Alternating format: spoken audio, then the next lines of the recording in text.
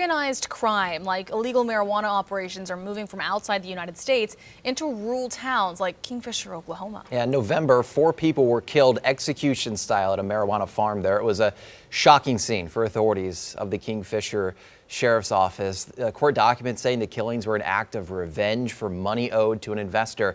News Oklahoma's Amanda Slee now joins us uh, to share more on this case. Amanda.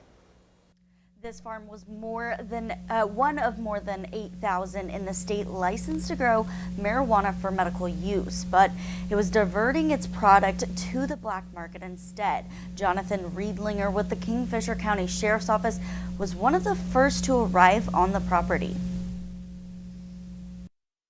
With the much money that's coming in here, with as much marijuana is is here or leaving, uh, it just figured just a matter of time before something was going to happen.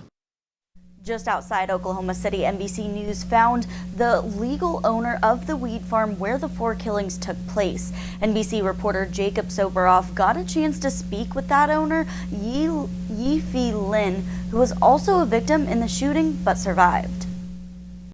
I was in the hospital for two weeks, he told us.